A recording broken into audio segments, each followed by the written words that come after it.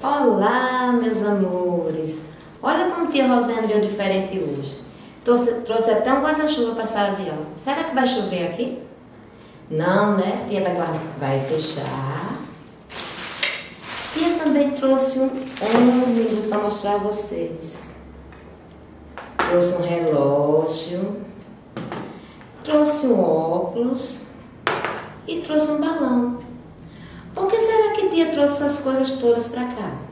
Porque hoje vamos ter aula de língua portuguesa e o nosso assunto hoje vai ser notações lésticas, tá certo? Que vai falar sobre a acentuação, tá bom? Tia já falou sobre o ponto de sobre o acento agudo, o acento circunflexo, o cedilha e também falou sobre o tio, tá bom? Mas hoje tia trouxe um novo coleguinha para vocês, que foi o hífen. E o hífen, gente, ele é também muito importante na nossa escrita, na nossa leitura. Por quê? Porque ele ajuda a gente a separar as sílabas, ele ajuda a gente a usar umas palavrinhas compostas e também ajuda a gente para organizar as palavrinhas na linha quando ela não tá bom? Então, Tia vai dar alguns exemplos de palavrinhas que a gente pode usar o hífen, tá bom? O hífen, ele é usado em palavrinhas compostas. Como assim, tia? Exemplo, guarda-chuva, né? Guarda, formado por duas palavrinhas, guarda-chuva, né? Então, guarda-chuva, gente, a gente vai usar o hífen para separar, né? Guarda-chuva. Vamos usar também o hífen na palavrinha guarda noturno.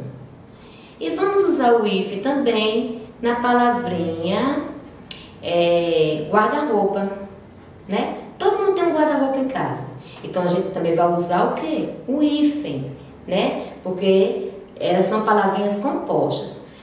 A gente também usa o hífen também, gente, nos dias da semana segunda-feira, terça-feira, quarta-feira, quinta-feira e sexta-feira. Por que a gente vai usar o if? Porque são palavrinhas o quê? Palavrinhas compostas, tá bom? Formada por duas palavras. Também existe, gente, palavrinhas compostas que não precisa do hífen, como a palavrinha girassol, vai e vem e pontapé. A gente vê que essas palavrinhas, elas são compostas, porque são formadas de duas palavras, mas elas são juntinhas, não precisa separar. Por isso que tia não vai usar o, o hífen, tá bom? O acento agudo, tia trouxe um óculos. Por que tia trouxe o óculos? Para mostrar a vocês que óculos, tia vai usar o quê? O acento agudo, porque o O vai ficar o som aberto. Então o som vai ser oral, tá bom? Toda vez que o som sair aberto, o som passa a ser um som oral. Também na palavrinha baú, o U ficou o som fechado ou ficou um som aberto? Ficou um som aberto. Por quê? Porque te usou o quê? O acento agudo, tá bom? Na palavrinha vovô, na palavrinha ônibus, qual é o acento que tia vai usar? Parabéns, tia vai usar o circunflexo. Por quê? Porque o som, gente, ficou um som nasal, um som abafado. Ônibus, vovô, cômoda, tá vendo? Então são sons que a gente sai, sai pelo nariz, né? Você tem aquela quinturinha no nariz. A mesma coisa acontece com o tio. O tio, vocês lembram que tio contou a historinha do bigode, né? Então o tio também deixa o som nasal, certo? O som também vai sair pelo nariz, como pão, como balão, né? E ele é usado sempre nos pedacinhos ão, on, ães e an, né? Mão, mãos, mãe, mães, tá vendo? Balão, balões. Entenderam, gente? E o nosso último é o cedilha. O cedilha, gente, a gente não pode de jeito nenhum usar o cedilha em início de palavra. O cedilha só é usado nos pedacinhos sa, só, su. E esse pedacinho geralmente vem aonde? Vem no meio da palavra, né? Uma palavrinha. Açude, açúcar, poço. Se tia não colocar o, cedilha, vai ficar o quê? Acude, pouco, cabeca, né? Então a gente tem que usar o cedilha para a palavrinha ficar correta, tá bom? Espero que vocês tenham gostado da aula e vamos para o nosso praticar. Bom, gente, o nosso praticar, tia trouxe muitas palavrinhas aqui, ó, que na escrita está errado. Por quê? Porque estão sem acento, tia não colocou cedilha e tia também não colocou o hífen, né? Então, vamos fazer junto com tia? Bom, nossa primeira palavra é açude. Mas aqui na, na folhinha está o quê? Acude. Tá certo? O que é que tá faltando nessa palavrinha? Parabéns, você dilha. Muito bem. Pulso. O que é que tá faltando aqui?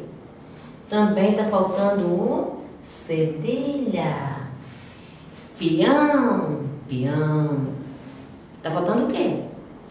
O tio, né? Isso, o tio, gente, vai ficar, ó, em cima da vogalzinha A, tá certo? Café. Café tá certo? Não, como é a palavrinha? Café. Então, tá faltando o que aqui? O acento agudo. Ônibus. Qual acento que tia vai usar? O circunflexo, muito bem. Aqui te escreveu sofá, tá certo? Não, como é a palavrinha? Sofá. Então, o que está faltando o que aqui? O acento agudo. Beija-flor. O que é que usar aqui? O hífen, né? Porque é uma, é uma palavrinha o quê? Composta. Tia não pode fazer o hífen, aquele tracinho grande não, tá bom? Tia faz o hífen, ó, pontinho pequenininho. É só um tracinho pequenininho. Couve-flor. Também tia vai usar o hífen? Vai, não é isso? Então tia coloca o tracinho também aqui, ó, o hífen. Outra coisa, não vamos mais chamar tracinho, porque somos alunos do quarto ano, né? A gente vai falar, usar a palavrinha hífen. Anão. Muito bem, tia vai usar o tio. Vovó. Tia vai usar o agudo. E se fosse vovô, ia usar o que aqui? O circunflexo, parabéns. Picole. Picole tá certo? Não. Como é a palavrinha? Picolé. Qual é o acento que tia vai usar? O agudo. Então, gente, esse foi o nosso praticar. Agora quem vai explicar a tarefinha de casa de vocês. Beijo. Bom, gente, a nossa atividade é no nosso livrinho de português, na página 44. Leia o texto e responda as perguntas. Fim de semana na fazenda. Então, você vai ler esse texto bem direitinho e vai responder as alternativas A, B, A e B. Na letra C, você vai marcar somente o sinal que, vai, que foi utilizado para ligar os elementos da palavra bem TV. Você olha os três sinaizinhos e vai marcar bem direitinho qual o certo, tá bom?